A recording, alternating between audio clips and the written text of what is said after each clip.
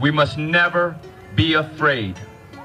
Fear must not be a part of our life. The only thing that we should worry about is that we have lived our lives without honor. A new normal. If you don't mind, we're we're opening up the space for our sheriff. Thank you, Sheriff. Good afternoon. Eight weeks ago, our public health officer and the governor participated in something never done before in our nation's history. They ordered residents into their homes, closed their businesses, made them wear masks, forbid them from going to church, and eliminated constitutional freedoms put in place over 200 years ago. This is the new normal. In the name of a public health crisis, our civil liberties and constitutional protections were placed on hold. That is what we should worry about. We should not worry about dying. We should worry about trading existence for life. The original projections and fears that caused these orders to be put into place have been proven wrong. Letting these manipulators and these bad people control our lives so that we cannot live it, so that we cannot understand our spiritual connection, we are trading our life for existence. We must understand what that connection has to slavery, because then we are not free. We must understand that slavery is more than the shackles they put around someone's ankles. Slavery is the, is the prisons that they build in our minds through their institutionalized madness.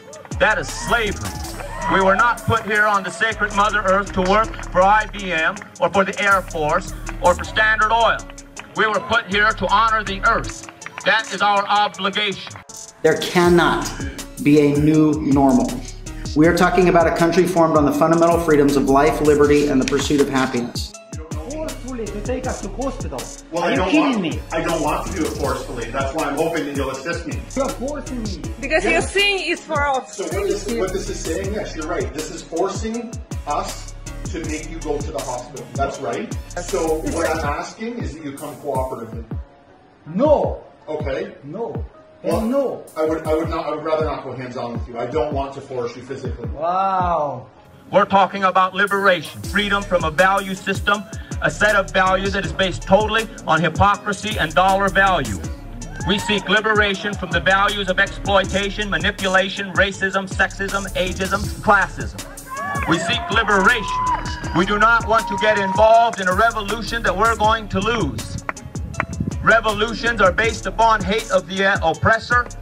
Liberation is based upon love of the people, and we will do whatever is necessary because of our love of the people and our love of the sacred Mother Earth. Brothers and sisters, Any new normal is a direct attack on those basics, basic rights which set us apart and make us the greatest country in the world. TV that you know it's chaos. Everything you see on TV is smoking. I'm gonna switch it. Because I come here and everything is normal.